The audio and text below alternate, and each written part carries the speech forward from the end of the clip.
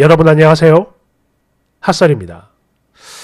이번 시간에는 그러니까 이것도 일종의 남미세의 한 종류인가 싶기도 하고 아무튼 저는 잘 모르겠는데 한 가지 확실한 것은 어, 절대 정상은 아니라는 거 그런 썰이 데리고 왔습니다. 그럼 봅시다. 제목 친구 남편이 완전히 개쩔어요. 그래서 정말 보고 싶어 미치겠는데 아니 남도 아니고 나랑 절친이라고 하는 인연이 죽어도 지 남편을 안 보여줘요. 이게 말이 되는 거냐고. 원제 절친이 남편을 안 보여줍니다. 딱 한 번 보여줬어요. 제목 그대로입니다. 절친이 지 남편을 죽어도 안 보여줘요. 아니 우리가 그냥 평범한 친구도 아니고 절친인데 말이죠. 절친. 절대 친구. 아니 아예 아싸리 차라리 아예 안 보여준 거면 또 몰라. 그러면은 뭐 커플 모임을 한다거나 아내 친구들 만나는 걸 많이 불편해 하겠구나. 그런 사람인가 보구나. 혹은 일이 너무 바빠서 주말에는 좀 쉬고 싶은 사람인가 보구나. 이러고 말 텐데 그게 아니거든요. 저는 이미 그 사람을 만난 적이 있다고요. 4년 전에 딱 한 번 만나서 인사를 했는데 그 길로 끝이야. 근데 이거는요, 얘 남편이 싫어가지고 그런 게 아니라, 뭐랄까, 이 친구가 지 남편을 일부러 안 보여주는 것 같거든요. 분명히 말씀드리지만 저요. 그때 당시 말 실수한 거 없었고 또 제가 봤을 때 얘 남편 성격도 되게 밝아 보였거든요. 그런데 다른 친구들과는 잘만 모이면서 딱 저한테만 만남을 거부하는 느낌이 들어요. 다른 친구들 부부하고는 본다라는 것 같습니다. 집들이도 저희 남편이랑 같이 우리 넷이 하자 했더니 그냥 저랑 둘이서만 하고 싶다. 이딴 소리하고. 또 얘 남편 직업이 미술과 관련된 쪽이고요. 저도 그쪽에 크게 관심이 있기 때문에 야 그림 프로그램 좀 니네 집에서 잠깐 배우고 싶어. 이렇게 말했더니 얘가 바로 이런 지하에 거절을 하는 거예요. 또 가끔이지만 제가 이 친구네 집 근처를 지나가면서 연락을 해요. 야 꽁꽁아 나 지금 지나가는 중인데 커피 한 잔 살 테니까 네 남편도 같이 데리고 나와. 이랬더니 자기 혼자 나와요. 남편이 집에 있는데도 말이죠. 게다가 앞으로 출산하면 난 니네 집에서 좀 놀아야겠다. 이러면서 은근슬쩍 떠봤더니 남편이 없을 때만 오라고 정확히 이야기를 하네요. 기가 막혀. 도대체 이건 뭡니까? 혹시 이 친구는 제가 창피해서 그러는 걸까요? 아, 물론 친구 남편이니까 굳이 서로 인사 나누거나 뭐 그러고 살 필요는 없겠죠. 그런데 제 말은요. 아예 차라리 단 한 번도 안 만났으면 또 모르겠는데. 그렇잖아. 아무리 오래된 친한 친구라도 결혼식 외에는 남편 얼굴 모르는 친구들 많은 법이거든요. 그런데 딱 한 번 인사하고 그 이후로 계속 피하는 느낌이 드는데요. 이러다 보니 내가 뭘 잘못했나 싶기도 하고 진짜 별의별 생각이 다 들거든요. 이 친구가 왜 이러는 건지 혹시 아는 분 계실까요? 뒤에 하나 더 있어요. 댓글 1번. 아니 근데 잠깐만. 친구 남편이 도대체 왜 그렇게 보고 싶은 건데요? 나는 지금 쓰니 친구가 아니라 네가 더 이해가 안 돼. 그냥 계속 아니 평생 친구랑만 친구로 지내요. 쓸데없이 남의 남편까지 포함시키려 하지 말고 뭐야?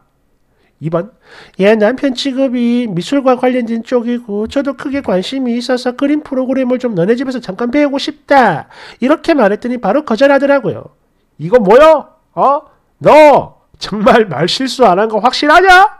깔깔깔깔깔. 3번 야, 별 내용 없는 이 짧은 글만 읽어도 네 친구가 왜 그러는지 바로 감이 오는구만. 야, 미칠 거면 좀 곱게 미치든가. 도대체 왜 이러는 거니? 4번. 저기요. 이걸 정말 몰라서 물어보는 거예요? 네가 자꾸 지금 남의 남편한테 첫 들이대고 있는 거잖아요. 아, 글이 이 정도인데 실제로는 어느 정도일지 감도 안 온다, 이씨. 5번.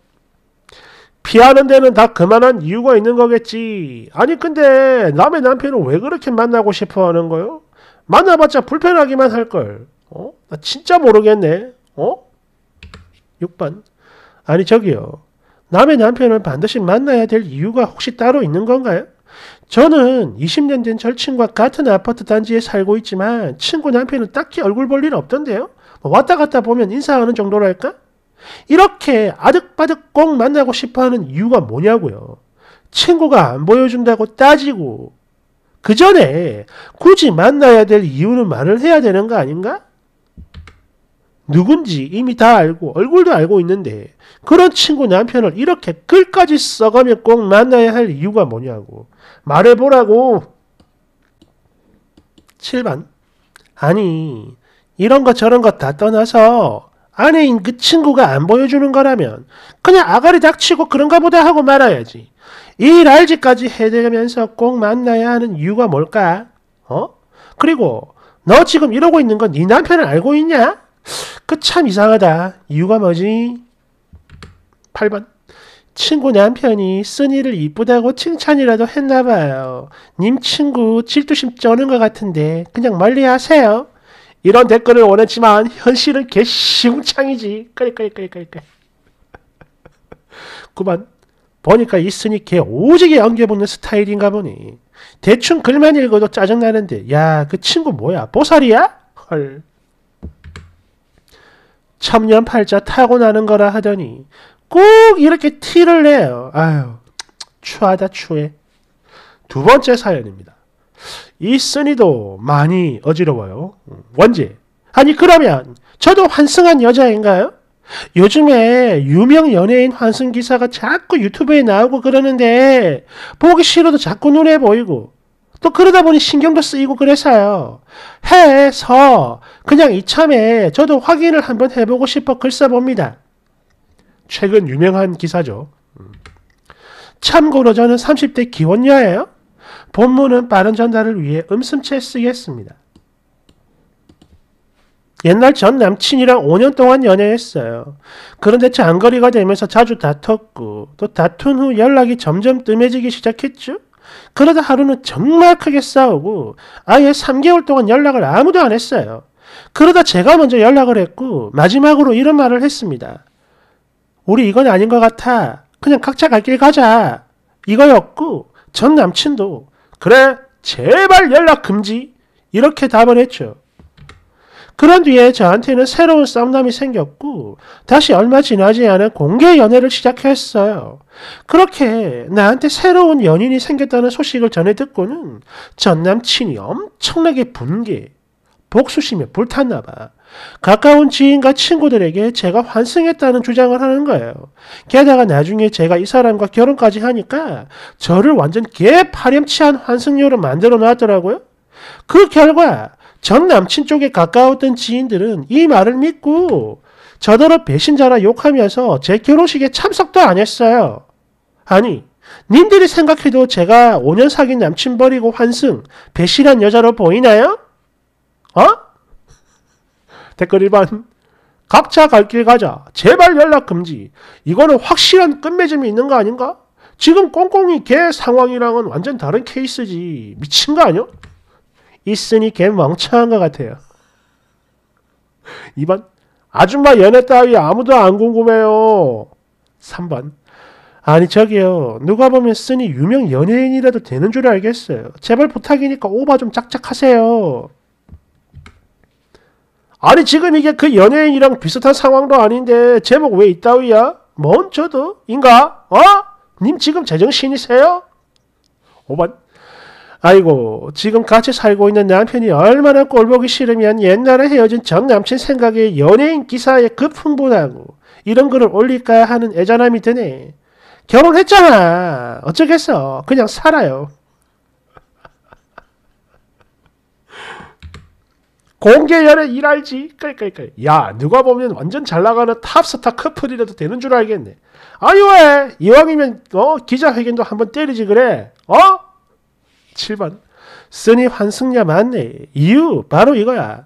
첫 번째, 연예인 기사를 보다 스스로 찔려서 글을 올렸고 전 남친과 헤어졌다가 아니라 싸웠다라는 표현을 쓰고 또 전 남친과 같이 하는 지인들이 글쓴이 편 아무도 안 들어주고 그러니 결론이 뭐다? 너는 환승녀다. 8번. 이거 보니까 갑자기 전 남친 그 미친놈이 생각나요.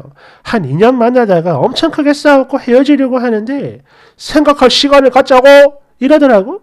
그래서 아니 됐어. 그 생각 너 혼자 많이 해라. 나는 오늘부로 끝이다. 이렇게 하고 왔어요. 그런 뒤에 한 1년 정도 지나가지고 제가 새로운 연애를 하는데 이 그지 같은 놈이 갑자기 찾아와가지고 난장을 까는 거야.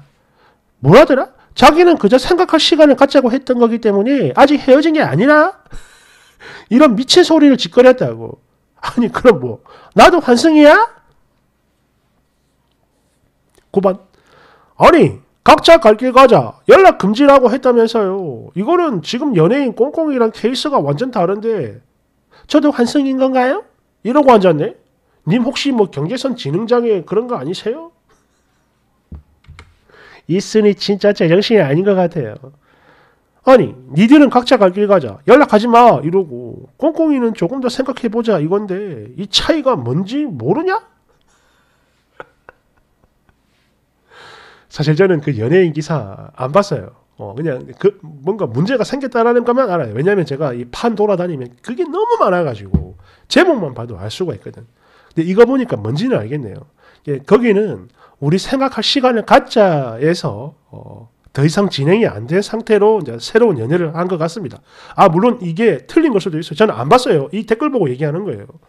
근데 그게 맞다 치고 그런데 쓴이는 어 우리 각자 갈 길 가자. 어 연락하지 마. 제발 금지 이러면 끝난 거죠. 그리고 어, 첫 번째 사연. 야 저거는 진짜 모르겠다. 어. 남편이 엄청 잘생겼나? 어, 왜 그렇게 보고 싶어 하지? 모르겠어요. 어지러워, 어지러워. 어. 감사합니다.